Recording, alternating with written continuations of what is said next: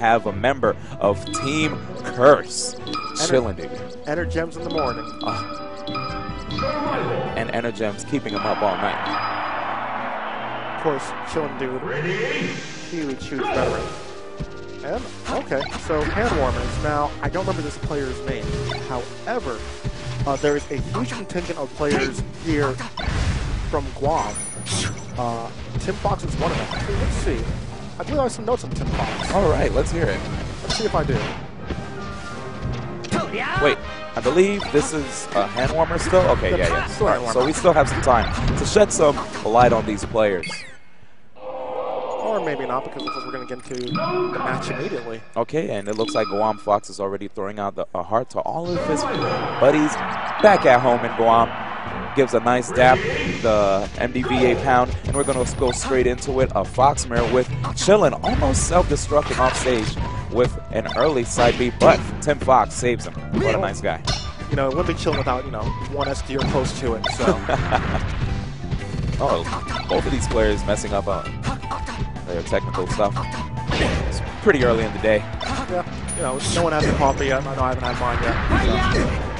But looks like Chillin might just get this first stock. Good back air for good measure, taking the first stock here against Tim Fox. Good shine out of shield, trying to make sure Tim does not get another hit. Tim Fox already has D. And Chillin with the Salvation Army stock, he's like, no worry, man. Yeah, I mean, Tim Fox, from what we know about him, he is the best Fox in Guam. All right. Uh, him and Blue are two guys from we're looking out for. Blue is a Doc main. But, you know, this is the first time they're being tested by international competition. And, well, Chillin is a huge test. Um, actually, this is the first time, period, that any serious melee players from Guam are competing off the island. So, let's see what they can do here. All right. Well, Chillin doing a good job of tossing out those Fox dash attacks whenever a Fox is at a high percent because if they DI down, they'll get them- they'll get knocked over, Right. or if they don't DI down, they'll get knocked into the air, allowing you to get an up smash or possibly other follow-ups, leading to a potential KO. And wow, Chillin. Chillin' dude. One minute, 28 seconds. Mission complete. I Mission rounding. I Yep. rounding. It's close enough. Don't Mission. yell. What I was going to say was mission complete, but not yet accomplished, as it is only the first game. Right, right. Let's go. Tim Fox will want a bit more room to run. Oh, but he's gonna. Oh, he nearly ran right into that back air, but went straight up. And of course, we saw the vintage Chillin' dude there. The falling up air, and another one. Again. I guess he heard me. Okay, Chillin' dude, stop down. That's what you. Oh, Oh, Tim Fox was in a good position to possibly get a shine. Yep, and that would have finished the stock off, and Chillin' dude was conservative, but that time he captured him, expecting go, expecting Tim Fox to go straight forward. So Good DI out of there by uh, Tim Fox. Whenever you DI out of those Fox drills, you give yourself an opportunity to avoid a potential grab or shine follow-up. You need to do is you just need to tap the stick multiple times away from the Fox. That way, you can avoid a potential follow-up. what's that called? Smash DI. Cool. And again, these are vintage from Chillin'. Yeah, Tim Fox not going for any sweet spots. He's always going high. He's always going straight forward. Yeah. If he, dude's picked up on at this point. yeah, Tim Fox needs to mix it up. I mean, he's currently down two stocks. Ooh, and he was almost positioned for the back air, but didn't get over it, over the platform.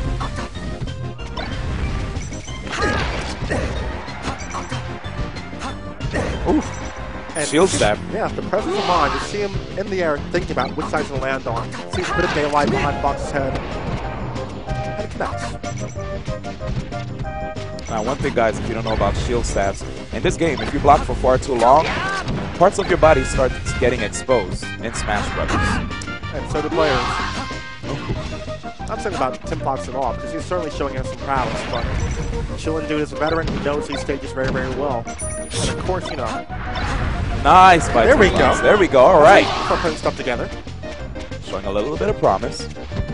But of course, if, if he has to make a huge comeback here, it's going to take Oh, did you see that a low movement? for KO. Yeah. I'm led to believe that Tim Fox is really good, but just didn't get enough warm-ups. That or he's nervous. Again, you know, Yeah. first time off the island. Oh, good stuff by Chillingo. Those up tilts, man. Makes it really hard. You can't just jump in willy-nilly against Fox. Oh, here we go. These guys in the boxing game going back and forth with those jabs and tilts.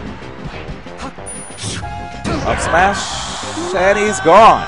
2-0 in favor of Curse's very own. Chillin' dude, 829. But of course, you know, a lot of credit to Tim Fox' entire Guam crew. I mean,